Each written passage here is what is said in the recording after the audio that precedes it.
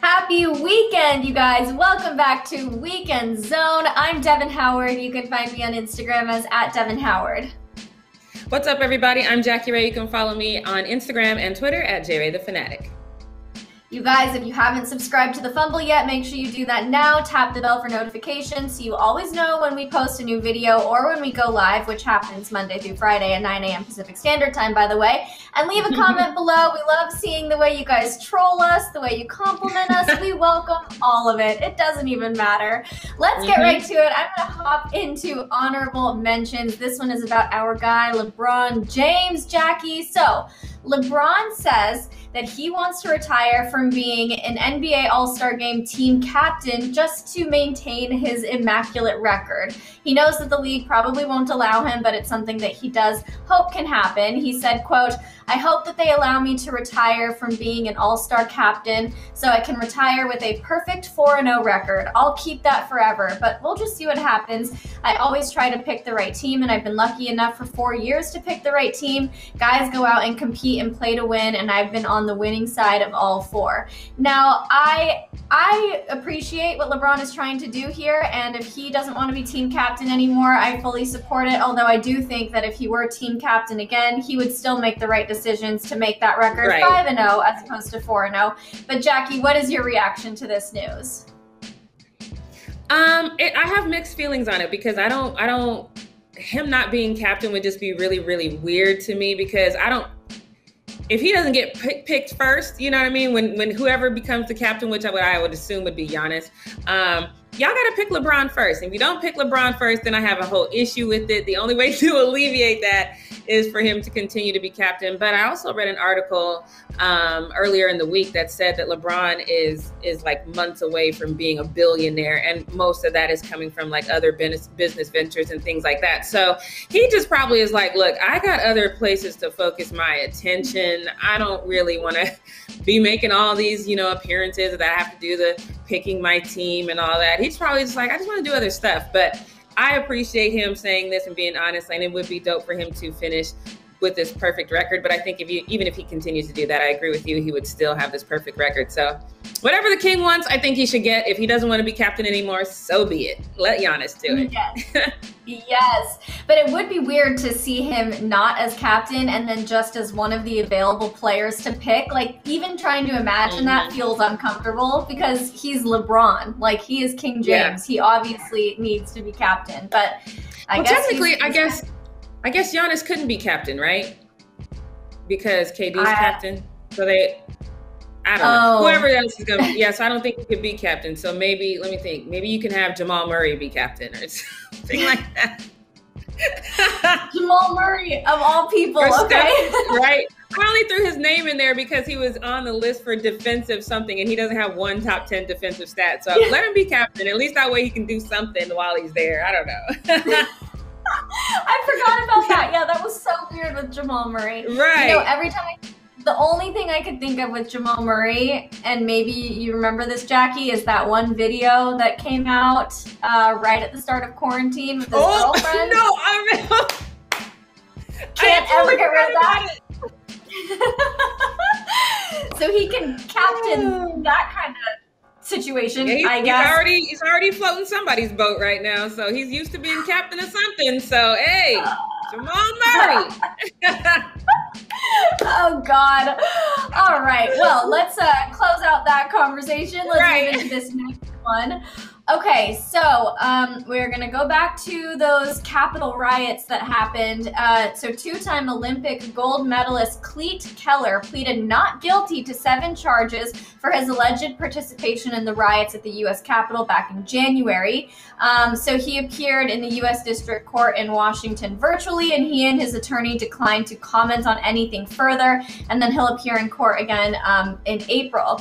So he was indicted on seven different charges from the riots, including for knowing and unlawfully entering and remaining in a restricted area, interfering with official government business, engaging in disorderly conduct to disrupt a session of Congress, and interfering with law enforcement during a civil disorder. Um, you guys might remember that he was recognized by an FBI agent due to both his height and the Team USA jacket that he was wearing at the Capitol because this guy, who does that? Who does that? I can't even oh believe that. Um, and he was also a known Donald Trump supporter. He did end up turning himself into authorities in Colorado nine days after the riots and was released without bond. He could face up to 15 years in prison. So, what do you have to say about this story about the guy who showed up to an illegal riot at the US Capitol in his Team USA jacket, now pleading not guilty? What are your thoughts, Jackie? I when I saw this story, I was so confused and perplexed. Like, how do you plead not guilty? Like, at least make it not guilty by way of temporary insanity. You just can't say not guilty and just a period after. We saw you, my God. We all saw you. I think this is crazy. I think the funny thing is that if he would not have worn that that jacket and if he had had a mask on, we probably wouldn't have mm-hmm. known it was him. We wouldn't have known right away it was him. Yes, he's still tall, but he would just been that really tall guy in the crowd. So I'm curious to see how a not guilty plea plays out for him because I'm not saying that he should serve 15 years. It just really depends on where he was in proximity to the cops that were hurt. If he was in, if he was a part of that mob that actually caused injury or caused one of those officers to lose their life, then yeah, 15 years is warranted. If he wasn't, if he was just one of those people that were like, staking podiums and memorabilia is really what it amounted to, then I think he should have some sort of punishment for sure. But 15 years seems like a lot. But definitely, you should probably take a plea deal, plead guilty, and then plea out. It just doesn't seem like he's ever watched a cop show in his entire life. You've never watched Law and Order? You can't plead not guilty. That you can't do that. so weird. I can't even wrap my mind around this story. The whole thing is just absolutely bizarre. Uh, but yeah, the guy he says he's not guilty. So uh, that wraps up honorable mentions. Jackie, what's happening in athlete trash talk? Okay, this trash talk is um there's no clapbacks, but it's some trash talk for real because you guys know we've been talking about Meyers Leonard all week and his anti-Semitic remarks. Um, he did give an apology. I always think the apologies are fake. Um, I didn't really appreciate the apology, and neither did Al Horford's sister. She actually took to Twitter and she addressed the apology, and she is not a fan. She um she posted a tweet that said, um, Hey, if we run out of toilet paper again, we can just use Meyers' jersey. And then she responded to her own tweet by saying, Anyone got a jersey because that apology was trash. So that is an excellent question to me. The anyone got a jersey because he's averaging 3.3 points per game. Seriously, does anyone have a jersey? I need to know if there's any jerseys, any miles. Lit- Come on, literally, I, I, need to see that jersey. I need you to take a picture of it, put it on your Instagram, and tag the fumble because I don't believe any of these jerseys actually exist. That's just mm-hmm. me. She did she did clarify her statements though, and she said, quote, she said he made an excuse when he said he didn't know what it meant, and he's apologizing because he got caught. If he truly wants to change as a human being, we'll see it in his future actions. Until then, we have a right to be skeptical. And when people show you who they are, believe them. So I actually co-sign on that 100%. I don't have any problems with what she's saying in that statement. Um, we do know, like Julian Edelman has reached out to him, so I guess we'll just have to wait and see if he changes his actions. Um, but from that apology, I agree with her. It was a it was a terrible apology. So, yeah. I um I appreciate what she had to say too. I mean, she's uh, her Al Horford sister is always always saying stuff. You know, she always mm-hmm. likes to get on Twitter and like inflame her followers and get everybody mad and riled up. And you know what? I appreciate that she is actually coming to the defense of the Jewish community so much because I, I don't feel like I see that happen very often. Um, right. It is refreshing. Uh, I think that um, I think that all Meyers Leonard showed us in that moment is that he's dumb he's an idiot. I don't think it showed us mm-hmm. that he's an anti-Semite. I think it, he showed mm-hmm. us that he's just stupid. So, like that's that's always, and we've talked about this all week long. That's my kind of like my uh the tension that I feel here is that like I think yeah. he was just stupid. yeah. If you didn't know it before by looking at his haircut, then you definitely know it knew it after he uh, made this statement. So, all right, let's see if he does better in the future. But let's go to this next one because this next one I've talked about this just briefly. Um, you guys know Blake Griffin is officially in Brooklyn now. He's officially with the Brooklyn Nets. So now we have Blake, KD, Kyrie, James Harden, and everybody is like, "Oh yeah, there's this super team." I- I'll agree with the KD, Kyrie, and James Harden this Blake Griffin thing does not do anything for me. I just don't see that really changing anything. And Paul Pierce, I think it's one thing when I say it, it's another thing when somebody who actually really played the game and understands it says it. So Paul Pierce decided to let the world know he feels the same way. He says, no.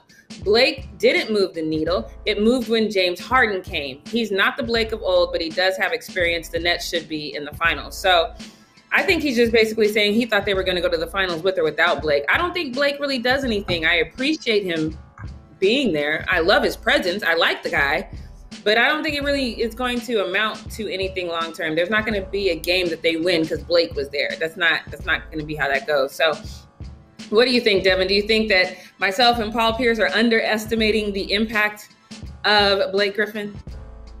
No, I feel the same way as you. When I saw people really hyping this up online, I kind of was like, I mean, yeah, we like Blake Griffin. He's a good guy, but I don't think that the Nets needed him. It's not like he came right. in and is filling a major gap in their roster and he's going to be providing this value that they weren't able to get from the people that they already had. So I don't mm-hmm. know. I think they were going to the finals, like you said, regardless of Blake Griffin. The fact that Blake's there is cool. It's great. We love to see it. It's just not, it doesn't change very much.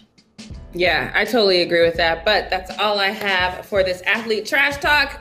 Now let's get into these comment clapbacks. I hope y'all did good this week. Let's get to it. Okay, so oh, this one's fun. Jackie flipping her tune on Tom Brady. One minute she likes him, and the next minute she hates him. Make up your mind. No, I will not. I am always gonna go back and forth on Tom Brady. I did not like Tom Brady in New England. Tampa Bay Tom is kind of growing on me. No, I haven't forgotten about all the reasons that I don't like Tom Brady, but I, I, I just I can't hate on him like I used to. And no, I will not make up on my mind. Today's Saturday. I love Tom Brady. Monday might be an entirely different story, and that's just how life is going to be from now on. it just depends on what Tom Brady's doing. Is he being kind exactly. of like an awkward, lovable guy on social media, or is he doing some weird crazy stuff that makes him seem like a villain. It's his right. fault. He's the one who gives us these two different personalities. So, Jackie, I don't blame you for not making up your mind. Let's get in to the next comment. I can't wait to see what people have to say. The fumble are clickbait masters at this point. You know what, Jalen? Thanks. We appreciate right. you. I mean, thank you for the compliment. We if that if that's what brought you here, Thank you. We, we really appreciate that. Let's get into this next one. Right. Appreciate you. All right. So, okay, this is the James Harden's mystery child that I still can't remember where this child came from. But so, no actual picture of what the child looks like, just an artist's impression. Great job with the investigative journalism. First of all, what? Where are we supposed to get the picture from if James Harden doesn't post a picture? Yeah, I was gonna say, so this was on my video. Um, I think the guy's name was Sean. Sean, let's have a chat here. First of all, I'm a sports reporter, not an investigative journalist, so you can stop with that. That's not even an insult to me. I, I never claimed to be an investigative journalist, and even if I was, I don't think that I would go so far as to hack into James Harden's phone to get pictures of his baby just to show you guys. So yeah, we're left with an artist's impression, and that's what you're gonna get, so you can chill. Mm, boom! Drop the mic. Yes. Let's get into the next comment. Leo, throw it up there. Okay, people want to be Curry because Curry changed the game as well as came up from being an underdog, which a lot of people feel the same B word. Uh, okay, this is on my video. This is the video that I said I mean, first of all, this person didn't pay an, an, ounce of attention because I said that Steph Curry changed the game. You know, he realized he wasn't the tallest or the fastest, but he got really good at what he's good at, and everybody has tried to emulate it. I gave him all the accolades in the world. And I said the reason why I think people can relate to him easier is because he's the little guy. You know, most of y'all out there watching this right now are not basketball height. So no, you seeing a guy that's about your height actually succeed makes him relatable. Not everybody can reach king status, and that's why not all y'all like him. I said what I said and I meant it. So you can keep that B word for your girlfriend, sir. yes, Jackie, I love it. okay. Oh, is are okay. you reading this one? Yeah, I think this one's mine. Okay. So, oh, Devyn, this one's for you. Okay, so Devyn, you're pretty much contradicting your. What video is this? Oh, this is the Trez says the NBA ref was too soft. I remember this. Okay, so Devyn, yes. you're pretty much contradicting yourself on this one. Don't question this in your feeling stereotype BS if you're not going to check the female ref for that bogus call. Trez would have said the same about any ref period, and she did have a grudge. Come on now, everything his his HD now is cl- crystal clear that she had a grudge. You're smarter than that. 100. Okay. Evan, would you okay, like to address this? people got people got very in their feelings about my take on that video. And okay, I have to admit, I don't blame you guys. If you're gonna insult different refs, uh, whether they're a man or a woman, you should be able to give the same insults to both, regardless of their gender. I will admit that. I just think that um, I think that we could have accomplished the same criticisms for that female ref by saying she made a bad call, she's a sucky ref, you know, whatever it is. um, yes, maybe Trez. I think Trez probably would have said that about anybody. Um, mm. and you know what? I guess maybe I can admit that I was a little bit wrong on this one. If he's gonna call say somebody's in their feelings, he shouldn't withhold that because she is a woman. I just think that it plays into a stereotype about women, and we already have to work so hard to earn a seat at the table in the world of sports that I just wish sometimes there was a little tiny bit of compassion for those of us who are able to get there. And that's all I have to say. I don't even have anything sassy or snippy to say back because you guys are kind of right, but I also think I'm kind of right too. Yeah, and two people can be right at the same time. That is a thing. It can happen. yeah, I agree. Um, okay, Leo, do we have any more comment clapbacks to get into? Okay, I'm reading this one. For a sports channel full of women, you guys never do stories on women's sports. LOL. There are women playing tackle football and rugby. Um, I admit we cover men's sports more, but that's because that's uh, you know what's more popular. We just that's a fact of life. But also we talk about female sports, women's sports a lot. I would say we talk about the WNBA, uh, right, Jackie? Wouldn't you agree? Yeah, we do, and and I think we need a sound effect because this is probably the first time in Weekend Zone history that on two separate comments we're going to say you guys are kind of right. I think we could definitely do better with the way that we cover you know female sports especially the WNBA i've said over and over again that one of the reasons why that sport is not getting better is because they don't have media coverage and here we are in the media. And so i well i'll take this one on the chin we could definitely do better it's not intentional that we don't cover it but it you know because it's not at that level but i'll take some ownership and say that maybe we should help them get to that level. So I'll take this one on the chin. Good. This is the first time in history that y'all have said something in these comments that we actually agree with. So good job. Jackie, we're getting soft. We're getting soft. We oh, no. oh no. All right. Well, I'm sure that was our last comment yep. clapback. So let's wrap up the show. We hope you guys have an amazing weekend. Let us know what you think about all of these stories about Klete Keller uh, pleading guilty, about what Paul Pierce said, about what LeBron said about not wanting to be team captain anymore. Sound off in the comments below. Don't forget to subscribe and tap the bell. We are going live as usual on Monday at 9 a.m. Pacific Standard Time. So tune in.